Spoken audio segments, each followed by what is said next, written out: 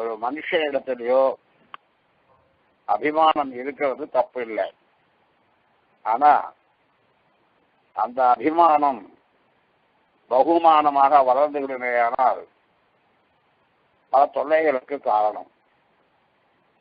பரதனை எல்லோரும் சந்தேகப்படுகிறார்களே அதற்கு என்ன காரணம்? ராமனிடத்திலே இருந்த அபிமானம் பகுமானமாக மாறிவிட்ட காரணத்தினால் பரதனை சந்தேகப்படுகிறார்கள்.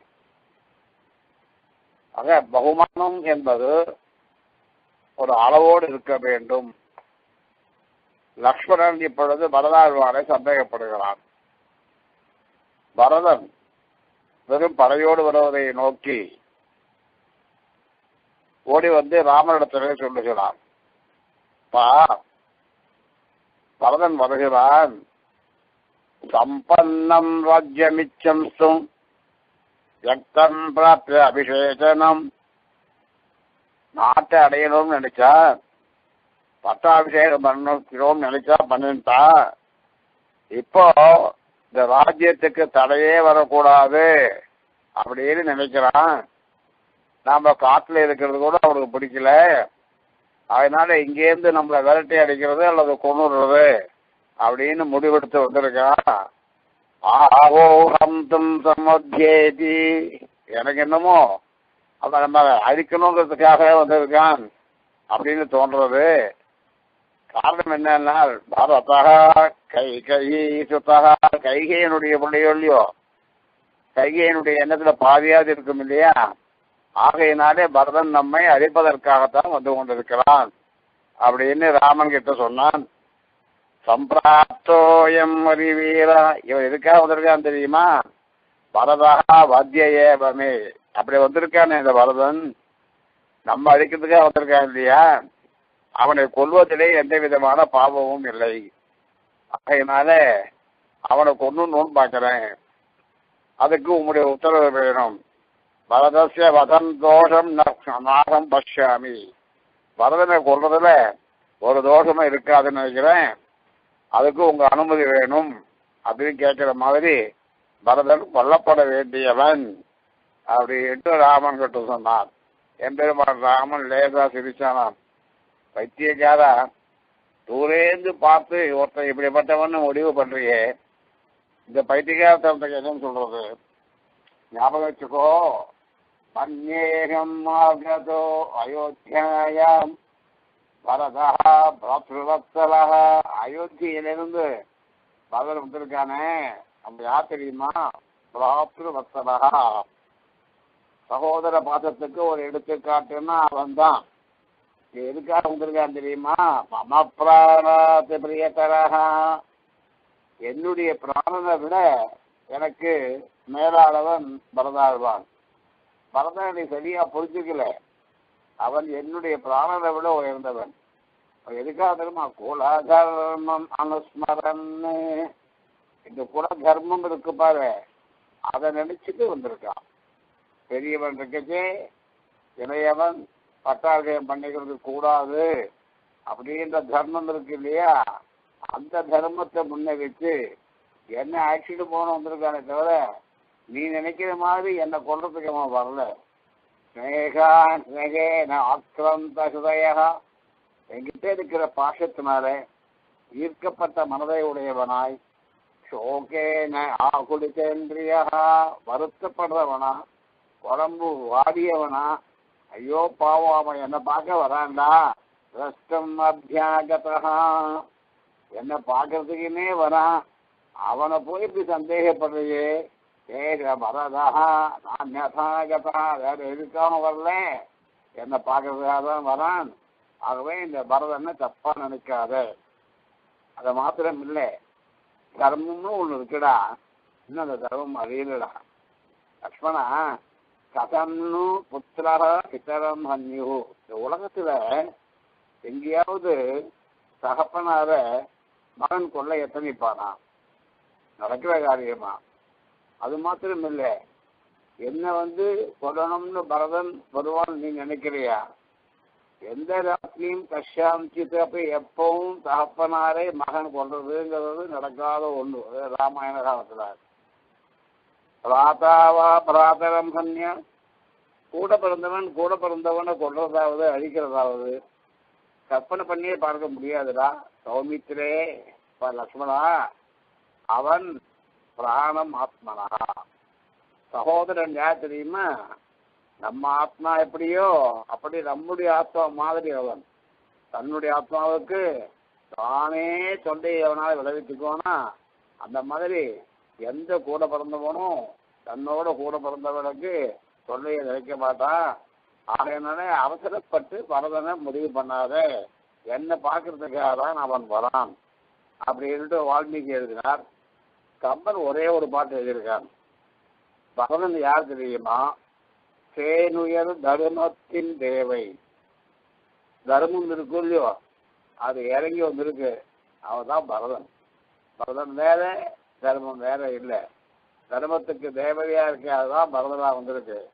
செம்மகின்னானியை உயர்ந்த குணங்கள் சொல்லும் இல்லையோ? செம்மை குணங்கள். செம்மை குணங்களுக்கு ஆணிவேதா இருக்கிறவன் பரதாழ்வான். பலபாழ்வான் மாதிரி ஒருத்தனை பார்க்க முடியாது. செம்மையான குணங்கள் என்னென்ன உண்டுன்னு சொல்றோமோ செம்மையான குணங்கள் முப்பத்தி ரெண்டு குணங்கள். ஒன்று ரெண்டு இல்லை. உண்மையான வைஷ்ணவனுக்கு இருக்க வேண்டிய குணங்கள் முப்பத்தி ரெண்டு ஒரு கட்டுரை எழுத முடியும் முப்பத்தி ரெண்டு குணங்கள் இவைகள் இருந்தால் உத்தமமான வைஷ்ணவன். எழுதிட்டு கீழே எழுதினேன். நான் உண்மையான வைஷ்ணவன் இல்லை அப்படின்னு எழுதினேன் முப்பத்தி ரெண்டு குணங்கள். அதனுடைய ஆணி பேர் யாருன்னு கேட்டா எந்த பரதாழ்வான் அது மாத்திரம் இல்ல அவனை அன்னது நீ நினைக்கிறாகுமா? அந்த பரதனை போய் நீ தப்பா நினைக்கிறடாப்பா இது என்ன நியாயம்? அவன் பூனியர் மொயம்பினாய் ஆபரணங்களை போட்டிருக்கின்ற லக்ஷ்மணா? அப்படின்னு எல்லாரும் அர்த்தம் சொல்லுவான். இல்ல எனக்கு தொண்டு செய்வதையே ஆபரணமாக கொண்டிருக்கின்ற லக்ஷ்மணான்னு பண்ணும். ஏன்னா அவன் காட்டுக்கு வந்திருக்கான். ஆபரணங்களா கிடையாது. பூன்னா ஆபரணம். பூனியல் அப்படின்னா ஆபரணங்களை உடையன்னு அர்த்தம். கைங்கரியம் என்றும் சிறியை உடையவனாக இருக்கின்ற லக்ஷ்மணான் அவன். ஒரு வைஷ்ணவனுக்கு உயர்ந்த ஸ்ரீ எதுன்னு கேட்டா கைங்கரியம். பகவானுக்கு கைங்கரியம் பண்ணுவதுதான் வைஷ்ணவனுக்கு திரு. ஆகவே அவன் கைங்கரிசியை உடையவன் மைம்பினாய் போந்தது பரதார் வந்த வந்தது இருக்க என்னை காணியா? என்னை காண்பதற்காகத்தான் வந்திருக்கிறானே தவிர நீ நினைப்பது மாதிரி அல்ல. நீ இது பின்னும் காண்டியால் இப்ப நான் சொன்னேன் பின்னால அவன் வந்த உடனே அவன் நடந்துக்கிற விதம் இருக்கு பாரு. அதை பார்த்து நீயே புரிஞ்சுக்க போற. அதனால பரதக சந்தேகப்பட வேண்டாம். அவன் உத்தமமானவன் அப்படின்னு. குகன் சந்தேகப்படுறான் பரத்வாஜ சந்தேகப்படுறார் லக்ஷ்மணன் சந்தேகப்படுறார் நான் பரதாகவான் ராமனையே நினைச்சிட்டு இருக்கான் ஏன்னா கவலையே படலை. எல்லாருக்கும் சமாதானம் சொன்னா தவிர பரதாகவானுடைய உள்ளம் ராமனையே நினைச்சிருந்தது. இருந்தது அவன் கதறிலே வரான். நாலு ஸ்லோகங்கள்னு வால்மீகி பரதாழ்வான படம் பிடிச்சு காட்டுறார். பரதாரவான் எந்த எண்ணத்துல வரான் தெரியுமா? யாவத்தேன ராமம் திரக்ஷாமி. லக்ஷ்மணம் வா மகாபலம் வைதேகிம் வா மகாபாயா. நமேஷாம் பவிஷ்யதி. என்னுடைய மனசுக்கு அமைதி எப்ப ஏற்படும் சொன்னா எப்ப ராமனை பார்க்கறனோ அப்பதான் அமைதி ஏற்படும். ராமனை பார்க்காத வரையில மனசுக்கு அமைதி ஏற்பட போறது இல்லை ராமனுக்கே கைங்கரியம் பண்ணிட்டு இருக்கான லக்ஷ்மணன். அவனை பார்க்காத வரையில் எனது மனசுக்கு அமைதி கிடையாது. எவ்விதமான கூடவே போயிருக்கிறாள் விராட்டி சீதை. அவளை பார்க்காத வரையில் எனக்கு அமைதியே கிடையாது. யார் என்ன சமாதானம் சொன்னாலும் அமைதி அடைய முடியாது. லட்சியம் என்ன? ராமனை பார்க்கணும் லக்ஷ்மணனை பார்க்கணும் சீதையை பார்க்கணும். இதுதான் லட்சியம். அது வரையில் எனக்கு மனசுக்கு சாந்தியானது ஏற்படாது. அப்படின்னா யாவத்தேன சந்திரசங்காசம் திரக்ஷாமி சுபமானனம் தாது பத்மபராசாட்சம் அமே சாந்தி பவிஷ்யதி சந்திரனை போன்ற முகத்தை உடையவனாயிருக்கின்ற ராமன். தாமரை கண்ணன். அவனை நான் பார்க்காத வரையில் எனக்கு நிம்மதி ஏற்படப் போவதில்லை. என்னுடைய உடன் பிறந்தவனாயிருக்கின்ற சமயனாயிருக்கின்ற ராமனை காணாத வரையில் எனக்கு மனதிலே அமைதி என்பது ஏற்படப் போவதில்லை. பகவானை நினைச்சு ஒரு உண்மையான பக்தன் எப்படி கதறுவானோ அப்படி கதறுவான். கதறிட்டு வரான். யாவதேன ராஜ்யம் ராஜ்யாவியா பிதா மகேஸ்திதா அபிஷேக ஜலத்தின்னஹ நமே சாந்தி பவிஷ்யதி. ராஜ்யத்துக்கு உரியவனா இருக்கிறவன் ராமன். அவன் ஏதோ காரணத்தினால யாரோ சொன்னாங்கிறதுக்காக அவன் கிளம்பி வந்திருக்கிறான். கையை வார்த்தையை கேட்கணும் அப்பா வார்த்தையை கேட்கணும்னு அவன் கிளம்பி வந்திருக்கிறான். அவன் என்னை பொறுத்தவரையில் அந்த ராமனை ராஜ்யாக பட்டத்துக்கு உரியவன் அவன்.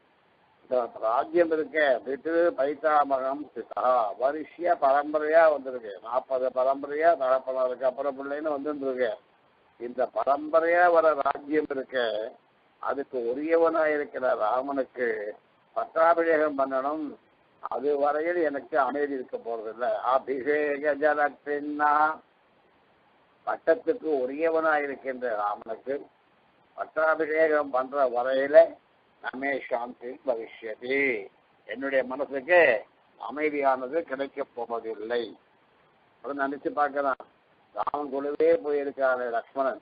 கூடவே போயிருக்காரு விராட்டி சித்தார்த்தலோனித்ரி யார் கொடுத்து வைத்தவன் கேட்டார். சித்தார்த்தனா கொடுத்து வைத்தவன் அர்த்தம். வாழ்க்கையில யார் கொடுத்து வைத்தவான்னு அர்த்தம். லக்ஷ்மணன் கொடுத்து வச்சவன் ஏன் கேட்டா ஒரு நாளா ரெண்டு நாளா பதினாலு வருஷ காலம் தூங்காம என் அப்பனுக்கு கைங்கரியம் பண்ணான். அந்த மாதிரி கைங்கரியம் பண்ணவன் யாரும் கிடையாது. அந்த பதினாலு வருட காலம் தூங்காம ராமனுக்கு கைங்கரியம் பண்ண பலன்தான் அடுத்து இவன் ராமானுஜன் அவதாரம் பண்ணி வைஷ்ணவ சம்பிரதாயத்தை நிர்தாரணம் பண்ண முடிஞ்சது. ஒரு வருஷம் ரெண்டு வருஷம் இல்லை. பதினாலு வருஷ காலம் கைங்கரியத்தை ஒழுங்கா பண்ணதுனால தான் நமக்கு ராமானுஜர் கிடைச்சிருக்கார் ராமானுஜருடைய அவதாரத்தை பார்க்கட்டு கைங்கரியத்தினுடைய மொத்த ஸ்வரூபம் யாருன்னு கேட்டா பாஷ்யக்காரர் தான் இந்த கைங்கரியத்தினுடைய பலன் என்னங்கிறத வேதாயுகத்துல ராமனோட கூட பதினாலு வருஷம் காட்டுல இருந்து உண்மையான பக்தியோடு கைங்கரியம் பண்ண பலன் தான் ராமானுஜர் அவதாரம் பண்ணி இந்த வைஷ்ணவ சித்தாந்தம் அப்படின்னு இருக்க இதை நிர்தாரணம் பண்ணிருக்கார். தபஸ் பண்ணி தான் சித்தாந்தத்தை நிர்தாரணம் பண்ண முடியும். தபஸ் எதுன்னு கேட்டா பகவத் கைங்கரியம். பகவத் கைங்கரியத்தில் எவன் ஈடுபடுறானோ அவன் தான் கொடுத்து வைத்தவன். கொடுத்து வைத்தவன் என்ன அர்த்தம் தெரியுமோ? எம்பெருமானிடத்திலே தனது உள்ளத்தை கொடுத்து வைத்தவன். எம்பெருமான் பிரிவை சகியாதவன் உண்மையான வைஷ்ணவன் மற்றவர் நோவு கொண்டு வயிறு பிடிப்பவன். எம்பெருமானை விட்டு பிரிவதையே மிகப்பெரிய நோயாக கருதுபவன் பரம வைஷ்ணவன். எம்பெருமானை விட்டு பிரியது அப்படின்னா அவனால முடியாத காரியம். அப்படி சித்தார்த்தகா கொடுத்து வைத்தவன் அவன். அது மாத்திரமல்ல. எஸ் சந்திர விமரோபமும் சந்திரனை போன்ற குற்றமே சொல்ல முடியாத திருமுக மண்டலத்தை தினம் பார்க்கிறான் இல்லையா? தினம் எம்பெருமான தெரிவிக்கிறான் இல்லையா? அந்த பாக்கியம் கிடைச்சவன் அவன் ஆகையினாலே கொடுத்து வச்சவன் அது மாத்திரம் இல்லை சீதையை கொடுத்து வச்சவர் முகம் பஷ்யதி ராமவ்ய ராமனுடைய திருமுக மண்டலத்தை பார்க்கிற பாக்கியம் அவ ரெண்டு பேருக்கு கிடைச்சிருக்கு. அவ ரெண்டு பேரும் ரொம்ப கொடுத்து வச்சவா அவெல்லாம் பார்க்கணும்னா நாம பெருமாளை சேவிக்காட்டாலும் கூட பெருமாளிடத்தை அளவுக்கு அதிகமா பக்தி உள்ளவா இருக்காரோ இல்லையோ அவளை நம்ம பார்த்தோம்னா பகவானை சேவிச்ச பலன்னா பக்திங்கிறது ஒரு பெரிய கான்செப்ட் நம்ம நினைக்கிற மாதிரிலாம் ஒரு சாதாரணமான கான்செப்ட் இல்லை அது. இந்த பக்தி வந்தா என்ன ஆகும்னா சில சமயம் அவனையும் அறியாம சிரிப்பான். அவனையும் அறியாம அழுவான். தன்னையே இழக்கின்ற நிலை. ஒருவன் எங்கே அல்லது எதிலே தன்னை இழக்கிறானோ அங்கே அவனுக்கு அடிமையாகி விடுகிறான். பகவானிடத்திலே நாம் நம்மை இழந்து விடுவோமே ஆனால் பகவானுக்கு நாம் அடிமையாகி விடுகிறோம். பகவானுக்கு நாம் அடிமையாகி விடுவோமேயானால் அவனுக்கு தொண்டு செய்வது தவிர வேறு எதுவும் நமக்கு சாகியமாகப்படாது அப்படி கொடுத்து வைத்தவர்கள். எனவே இவர்கள் பிறவி எடுத்ததன் பயனை அனுபவிப்பவர்கள். யார் யாரெல்லாம் எம்பெருமானுக்கு கைங்கரியம் பண்ணுகிறார்களோ அவர்களெல்லாம் மனித பிறவி எடுத்ததன் பயனை அனுபவிக்கிறார்கள். கைங்கரியம் பண்ண முடியாதவர்கள் ஐயோ நம்மால் அனுபவிக்க முடியவில்லையே என்று தவிக்கிறார்கள். அதை தவிர்ப்பு பகவரிடத்திலே பார்க்கிறோம். தம் கிருஷ்ணாஜி நகரம். ராமன் தங்கியிருக்கிற இடத்துக்கு அருகில் வந்தான். அப்போ ராமனை பார்க்கிறான். மான் தோலை பரவுரிய இருக்கான் மர தீர பல்கலம் வாசகம். ராமம் ஆசீரம். இங்கே ஒரு பாறையின் மேலே எம்பெருமான் உட்கார்ந்துருக்கிறத பார்த்தான். அதுதான் அகைதாக பாவகோபமம். எப்படி இருக்குன்னால் மிக பெரிய யஜ்யத்தில் அக்னி எப்படி ஜொலிக்குமோ அந்த மாதிரி பிரகாசமான முகத்தை உடையவராக இருக்கின்ற எம்பெருமான் ராமனை பார்த்தான். பார்த்து வேதனைப்படுறான். இவன் எப்படிப்பட்டவன் தெரியுமா?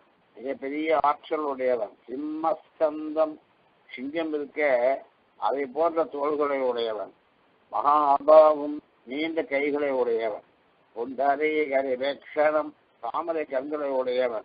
பிருத்திவியாம் சாகராந்தாயாம் கடல் சூழ்ந்த உலகம் இருக்கோ இல்லையோ அதை பக்தாரம் தாங்குகின்ற ஆற்றல் உடையவன். தர்மச்சாரியனும் அறத்தினுடைய வழியை நடப்பவன். அப்படிப்பட்ட இவன் ராஜாவா இருக்க வேண்டிய இவன் இப்பொழுது மர ஒரு தரித்து மானு தோல் தரித்து இப்படி அமர்ந்திருக்கானே என்று ராஜா ராமனாக இருக்க வேண்டியவன் தவக்கோலத்தில் இருப்பதை பார்த்து மனம் புழுங்குகிறான். உபரிஷ்டம் மகாபாகும். பிரம்மாணம் இடசாஸ்வதம் எப்படி இருக்கான்னு கேட்டா சாட்சாத் பிரம்மா எப்படி இருப்பாரோ அப்படி இருப்பான் தான். நான்கு வேதங்களை நன்கு அறிந்தவன் பிரம்மா. நான்கு வேதங்களினாலே போற்றப்படுபவன் ராமன் எனவே நான்கு வேதங்களினுடைய ஸ்வரூபமாக இருக்கின்ற ராமனை பார்த்தான். எங்க பார்த்தான்னா தண்டிலே தர்பசம் தீர்னே தரையில தர்பத்தை பரப்பி அந்த தர்பத்து மேல பிராட்டியோட கூட உட்கார்ந்து இருக்க ராமனை பார்த்தான். கர்ப்பாசனத்துல தவக்கோலத்துல ராமன் பிராட்டியோடு உட்கார்ந்ததையும் லக்ஷ்மணன் அவனுக்கு தொண்டு பண்றதையும் பார்த்தால் பார்த்து பரிதவித்து அழகான். சந்திருஷ்டுவா பரதா ஸ்ரீமன். ஒரு வார்த்தையை போட்டார். என்னதான் இருந்தாலும் கூட அவன் கொடுத்து வச்சிடறான் ஏன்னா இங்க மூணு பேரை பார்க்கிறான். சர்வேஸ்வரனை பார்க்கிறான் விராட்டியை பார்க்கிறான் அதே சமயத்துல கைங்கரியம் பண்றவனை பார்த்தான். பகவத் பாகவத சம்ஸ்லேஷம். என்று வடமொழியிலே சொல்லுவார்கள். ஒரு மனுஷனுக்கு யாரோட சம்பந்தம் இருக்கணும் அப்படின்னு கேட்டா முதல்ல நமக்கு எல்லாமா இருக்கின்ற சர்வேஸ்வர இடத்துல சம்பந்தம் இருக்கணும். அவனுக்கும் நமக்கும் இருக்கின்ற சம்பந்தம் யாராலையும் போக்க முடியாது. அவன் நம்மை தாங்குகிறவன் நாம் தாங்கப்படுகின்றவர்கள். நம்மை அவன் நியமிப்பவன் நாம் நியமிக்கப்படுகின்றவர்கள். அவன் நமக்கு தலைவனாக இருக்கிறான் நாம் அவனுக்கு அடிமையாக இருக்கிறோம். இந்த பந்தம் இருக்கிறதே யாராலும் பிரிக்க முடியாது. சர்வேஸ்வரனை பார்த்து பிரிக்க வேண்டும் என்று நினைத்தாலும் முடியாது. நாமவே அவனை விட்டு பிரிய வேண்டும் என்று நினைத்தாலும் முடியாது. ஆகையாலே இந்த பரமாத்மா அதுவும் பிராட்டியோடு கூடிய பரமாத்மா அவர்கள் இருவருக்கும் கைங்கரியம் பண்ணுகின்ற பரம பாகவதன் இவாளை பார்க்கறது இருக்கு இல்லையா இவாளை பார்த்தது பரதா ஸ்ரீமா கொடுத்து வச்சவன். ஆனா அவனுக்கு என்ன செய்யப்பட்டிருக்க துக்கஷோ வியாபாரம் அவனுடைய மனம் தான் அயோத்தியில் இருக்கு. அயோத்தியிலே சிம்மாசனத்தில் சீதையோடு கூட எம்பெருமான் ராமன் இருக்கிறதே அவன் சேவிக்கிறோம். இது சேவிக்க முடியாத போயிடுது அதை உரை எழுதினேன் சேர்த்தி அறையிலே வரதனை சேவிக்காதவர்கள் கொடுத்து வைக்காதவர்கள். பங்குனு உத்திரத்தில் சேர்த்தி அறையில தாயார் சொன்னதில என் அப்பன் ஐந்து தாய்மார்களோட கூட அங்க எழுந்து இருக்கின்ற அந்த பாங்கு இருக்கிறதா அப்பொழுது அந்த எம்பெருமானை யார் யாரெல்லாம் சேவிக்கிறார்களோ அவர்கள் கொடுத்து வைத்தவர்கள். யார் சேவிக்கவில்லையோ அவர்கள் கொடுத்து வைக்காதவர்கள். ஏன்னா அங்க எல்லாரும் இருக்கா? அந்த மாதிரி பிராட்டியோடு கூடிய எம்பெருமான் நம்ம சம்பிரதாயமே அதுதான். என்ன முதல் திருமகளின் இவரை முன்னிட்டு எம்பெருமான் திருவடிகள் அடைகின்றேனே. அப்படிப்பட்ட அந்த சேர்த்தியில ரெண்டு பேருக்கும் கைங்கரியம் பண்றது. பகுனாம் ஜென்மனாமன்ட்டு. எத்தனையோ ஜென்மங்கள்ல சுகிருதம் பண்ணியிருந்தாதான் பகவானுக்கு கைங்கரியம் பண்ண முடியும். திருப்பதியில லட்சக்கணக்கான பேர் இருந்துட்டு இருக்கான் சாத்துமுறை சமயத்துல நம்மளவாக ஜியர் கூட அனுப்புறான் ஒரு சமயம் ஜியர் திருவாவனம் தனியா போகலாம்னு சொல்லிட்டு தோமாலைக்கு அழைச்சிட்டு போனார். இந்த தோமாலையின் பொழுது பகவானை இந்த அர்ச்சகர் சில சிலேந்து தடவி பாதம் முறையில தடவி கல்ல ஒத்துறார் உன்னை அழுக அவனும் மனுஷன் தானே. எவ்விதமான சில சிலேந்து தடவி பாதம் வரைய தடவி கல்ல ஒத்துக்கிறானே நாமளும் மனுஷியா தானே. நம்ம போல ஆயிரக்கணக்கான பேர் கியூல இருந்துட்டு இருக்காளே. அவளெல்லாம் அந்த பாக்கியம் கிடைக்கிறே நாள் பகவானும் ஜென்மன அமர்ந்து அந்த மனுஷன் எத்தனை ஜென்மங்கள்ல என்ன புண்ணியம் பண்ணானோ? என்ன தவம் பண்ணானோ? சாட்சா திருவேங்கர முடியானுடைய திருமேனியை தரவுகின்ற இந்த பாக்கியம் கிடைச்சிருக்கு அப்படின்னு. அந்த மாதிரி கொடுத்து வச்சு வரான் இப்படிப்பட்ட ராவண சேவிச்சு ரொம்ப கொடுத்து வச்சவனா இருந்தாலும் இவன் இப்படி சேவிக்கிறமே அப்படின்னு வருத்தப்பட்டான். அத்தியதாபத தர்மாத்மா பார்த்த உடனே ஓடினான். ராமனை பார்க்கணும்னு தான் ஓடினான். எப்படி ஓடினான்னு கேட்டான் வெள்ள காஞ்சிபுரத்துக்கு வந்தானா ஒரு சுவாமி. கொஞ்சம் லேட் ஆயிடுது பஸ்ஸு பெருமாள் எங்கேனா கிளம்பியாச்சுன்னா. எங்கே போயிருப்பாருன்னா மூங்கில் மண்டபம் போயிருப்பாருனா ஓர் ஓடினார். எங்கேயாவது போய் பெருமாளை பிடிச்சிடணும் அப்படின்ட்டு. பெருமாளை பார்த்த உடனே பக்தன் எப்படி வேகமாக ஓடுகின்றானோ தன் நிலைமை தன் பணம் தன் வசதி இவைகளை எல்லாம் மறந்து ஓடுகிறானோ இப்படி பரதாகவான் ஓடினான். அத்தியதாவத கர்மாத்மா பரதா. பரதன் எங்கேயிருந்து ஓடினான். துஷ்டைவ ராமனை பார்த்த உடனே வார்த்தையே வரலையா? அழ ஆரம்பிச்சுட்டானாம். விதலாபாப்தா ராமனுடைய திருமேனியை பார்த்து பார்த்து பார்த்து சக்கரவர்த்தி திருமகனான இவனை ராஜா ராமனா இருக்க வேண்டிய இவனை தவ குளத்துல பார்க்கணுமே அப்படின்னு சொல்லிட்டு கல்ல தார தாரையா ஜலம் கொட்டுறதான் ஜலம் கொட்டி அழுதுண்டு ஓடினானாம். சில சமயங்கள்ல பெருமாளை சேடிக்கிட்டு நம்மை அறியாம கண்களில் கண்ணீர் பெறுவோம். ஒரு சமயம் ஸ்ரீமத் ராமாயணம் பாராயணம் பண்ணிட்டு இருந்தேன் சுந்தரநாதன் விராட்டி திருவாபரணங்கள்லாம் இல்லாம ஏகாந்தமா மரத்தடியில் உட்காந்துருக்கா அப்படின்றத வாசிச்ச உடனே அழுக வந்துடுது அப்படியே மூடி வச்சுட்டு கோவிலுக்கு போய் தாயாக சேவிக்கலாமே அப்படின்னு போறேன். அன்னைக்கு முன்னாள் ராத்திரி திருவாபரணங்கள்லாம் திருடு போயிருக்கு. தாயார் திருவாபரணங்கள்லாம் இல்லாம தனியா வஸ்திரத்தோடு பார்த்து ஓன்னு அழுதேன். அம்மா எப்படி இருந்தேன்னு நான் பார்த்தேன். பைத்தியக்காரா அன்னைக்கு இப்படிதான் இருந்தேன் இன்னைக்கு இப்படிதான் இருக்கேன். அன்னைக்கு வழியில போட்டேன் இன்னைக்கு வழியில போட்டேன்னால் எதுக்கு சொல்றேன்னா அதை பார்க்கச்சே அழத்தான் தோணும். எம்பெருமானத்துல பதவி இருக்கிறவா? அப்படி இவன் எம்பெருமானுடைய கோலத்தை பார்த்து சர்வாபரண பூசிதனாக இருக்க வேண்டிய நப்பன். அப்பன் இப்படி மரபுடி தரிச்சிட்டு இருக்காருன்னு சொல்லிட்டு வேதெல்லாம் அப்ப அழுதான்னு சொன்னார். வாஸ்த சந்திக்தகி கண்ணீர் வடிகிறது. வார்த்தை வராது. எம்பெருமானிடத்துல பக்தி ஜாஸ்தியா போயிடுச்சுன்னு சொன்னா கத்கதையா வாட்டா வார்த்தையே வராது. எம்பெருமானுடைய திவ்யமங்கல சுரூபத்தை பாதாதிகேஷம் நின்று அனுபவித்து சேவிச்சன்னா வார்த்தையே வராது. எம்பெருமான சேவிச்சு அனுபவிக்க தெரியணும் பாதாதிகேஷம் அனுபவிக்க தெரியணும் இதுக்கு தேவப்பெருமாளை சேவிக்கணும்னா படிப்படியா சேவிக்கணும் தேவப்பெருமாளுடைய திவ்யமங்கல சொரூபம் இருக்கு இல்லையா நீங்க எங்கேயிருந்து சேவிச்சாலும் அவனுடைய திருவடி சேவையாகும் திருவடியை நல்ல சேவை பண்ணும்படியா பண்றவன் நம்ம தான் அந்த திருவடியில் இருக்கிற நகங்கள் இருக்கு இல்லையா அந்த நகங்களுடைய ஜோதிஷம் இருக்கு இல்லையா அவ- எங்கேயுமே பார்க்க முடியாத ஒரு காட்சி அதை பார்க்கறதே கல்ல ஜலம் தான் வரும் இதை பிரபு இந்த திருவடியை நான் சேவிக்கணுங்கிறதுக்காகவே அப்படி படிச்சுன்னு காமிச்சுட்டு நிக்கிறையே. டேய் பாஸ்த கண்ணு ஜலம் வரும். ஒரு சமயம் பல்லவ நடந்தது. பல்லவ உற்சவத்துல திற திறக்கிறது அப்படின்னு ஒரு வழக்கம் வச்சுட்டு இருக்கா நான் கேட்டேன் இந்த ஏழு திற திறக்கிறாலே இது என்ன ஐதிஹியம் அப்படின்னு கேட்டேன். யாரும் தெரியாதுன்னு சொன்னான். இப்போ நான் சொன்னேன் இல்லை இல்லை எவ்விதமானுக்கும் நமக்கும் நடுவில் ஏழு திரை இருக்கு. முதல் திரை இருக்க அது கனமான திரை. அதுதான் மனம். அதை தொடர்ந்து ஒரு அஞ்சு திரை இருக்கு. மெய் வாய் கண் மூக்கு செவி ஐந்து புலன்கள். இந்த அஞ்சு. ஆறாச்சு கடைசியா ஒரு திரை இருக்கு. எம்பெருமானுக்கு ரொம்ப சமீபத்துல இருக்கிறது அந்த திரை. அதுக்கு பக்தின்னு பேரு. இந்த ஏழு திரைகளும் திறந்தால்தான் பெருமாளை சேவிக்க முடியும். அதான் திரையை திறக்கிறது. ஏழாவது திரையை திறந்த உடனேயே கற்பூரஹாரத்தி. கற்பூரத்தை சேர்க்கிட்டு எப்படி கற்பூரம் எரிந்து தான் இருக்கும் இடம் தெரியாமல் கரைந்து விடுகிறதோ அப்படி எம்பெருமானுடைய திவ்யமங்கல சுரூபத்திலே தான் கரைந்து கண்ணீர் வடிக்கும் பாக்கியம் யாருக்கு இருக்கிறதோ அவர்கள் கொடுத்து வைத்தவர்கள். அந்த நிலையில் பரதாகுவார் கண்களிலே நீர் வார்த்தை வல்ல கத்கதையாகிறார். அதனால அசக்னுவன் தாரயிதும்.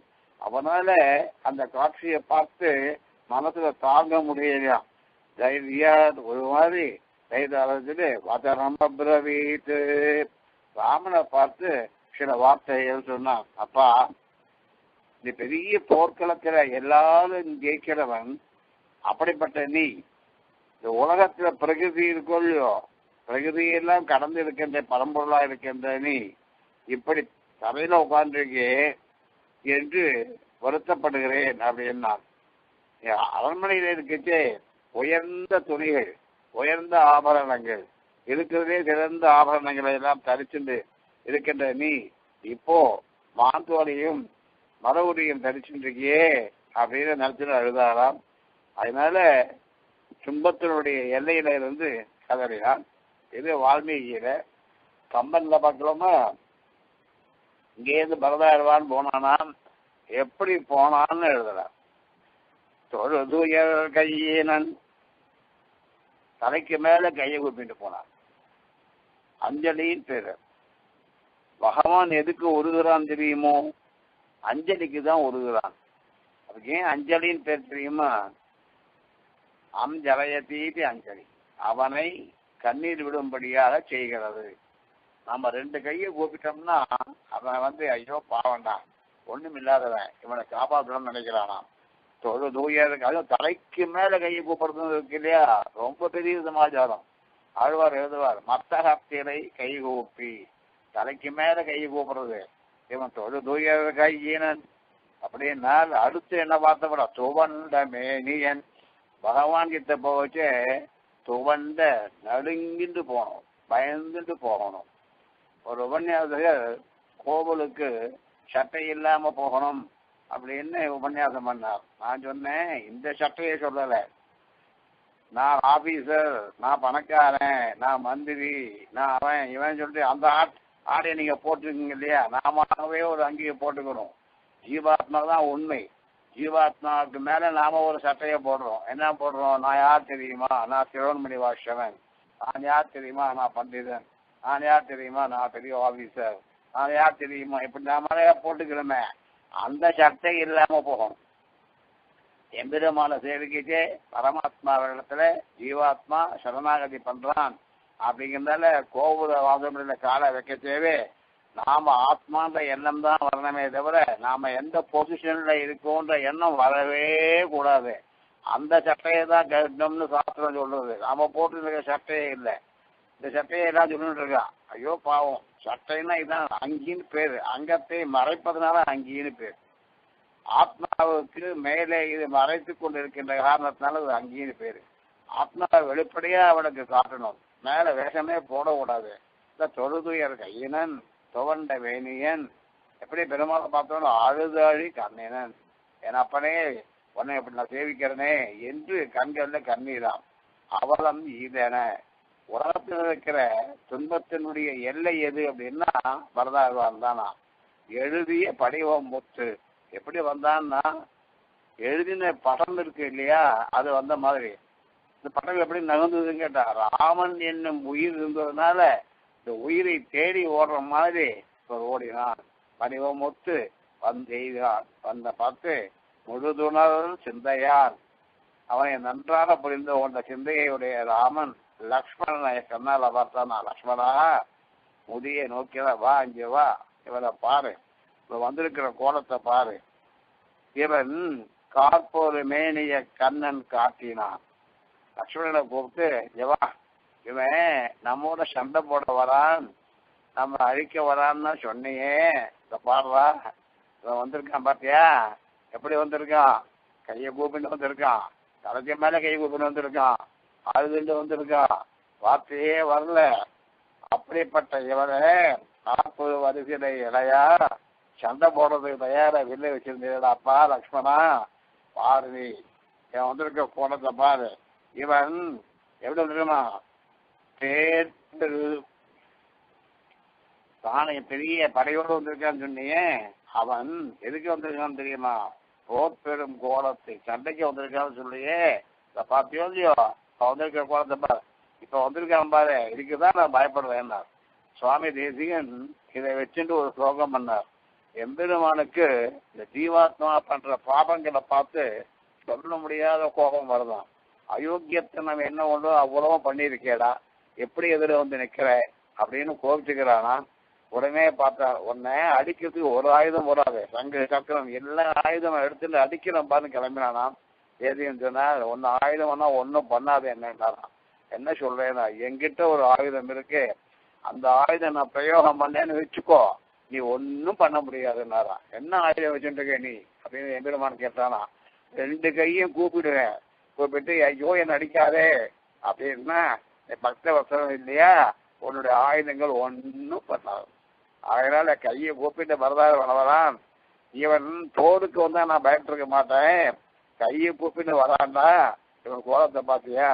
என்று வரதாழ்வானுடைய பக்தியை இளைய பெருமாளுக்கு தான் பெருமாள் கூடவே இருக்குமே என்ற எண்ணம் இருந்தது.